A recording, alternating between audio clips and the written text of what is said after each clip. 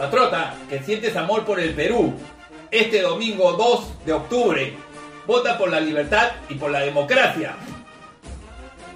Dile no a Perú libre y partidos traidores a la patria, que solo nos traerán miseria, sin libertad y mayor corrupción. No te dejes engañar nuevamente. Tu voto vale.